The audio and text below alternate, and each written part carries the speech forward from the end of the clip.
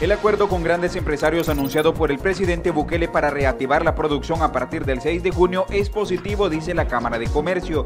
Esta gremial cree que debe existir un equilibrio entre la salud y la economía. Por lo menos al fin hay una fecha, creemos que eso es positivo. Eh, hay que ver el plan, hay que ver la ley, él mencionó que iba a mandar una ley. Yo estoy seguro que van a haber muchas coincidencias entre la ley que prepare la Casa Presidencial contra la ley que ya existe, ¿verdad? O que fue aprobada ayer. Por otra parte, la ANEP defiende la ley aprobada ayer en la Asamblea Legislativa, pues considera que reúne todos los requisitos para que el país se ponga en marcha de forma ordenada. Hemos visto ayer una buena ley. Hemos visto ayer a las fuerzas políticas en la Asamblea Legislativa ponerse de acuerdo, algo que que no es tan fácil, ¿verdad? Es más, ANEP reclama que el gobierno no presentó ningún plan para reactivar la productividad. El presidente en estos dos meses que tenemos de cuarentena no hemos visto ningún plan de salud, no hemos visto ningún plan para la reapertura y tampoco hemos visto ningún plan para recuperación económica. El presidente Bukele anunció que vetará la ley aprobada en la Asamblea Legislativa y que el jueves enviará su propuesta para una cuarentena más estricta.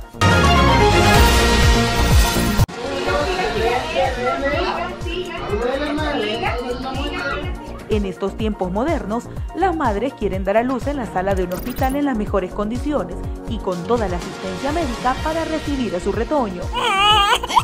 Pero ahora la pandemia ha cambiado ese deseo y algunas madres no buscan el hospital, sino todo lo contrario, huyen de él.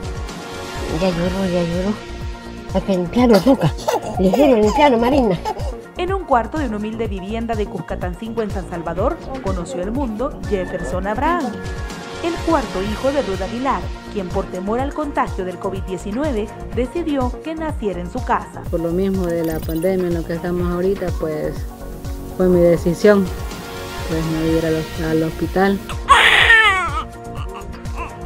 Para la afortunada madre y su hijo, el parto fue normal y todo salió como esperaban. Dice que ocupó los métodos antiguos, asistida por una partera. Y fueron los socorristas de comando de salvamento que llegaron a darle las primeras atenciones luego del nacimiento. Gracias a Dios, pues eh, un varoncito quien nació en perfectas condiciones. Bendecida, pues porque sabemos que está con bien él, pues y que Dios también me sacó con bien a mí. Por más que se le trató de convencer a la madre que llevara al recién nacido al hospital, fue imposible.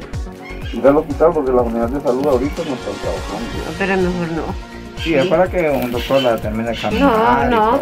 Dice que están más seguros ahí y lejos del coronavirus.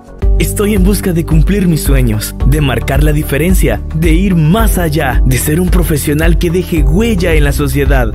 Tus ideales no están lejos de cumplirse. En la Univo puedes prepararte para generar un impacto positivo en la sociedad, ser un profesional que ponga sus conocimientos al servicio de los demás, que impacte en la vida de las personas o que impulse el desarrollo del país. Es momento de trascender con tu talento. Trasciende hacia un futuro brillante.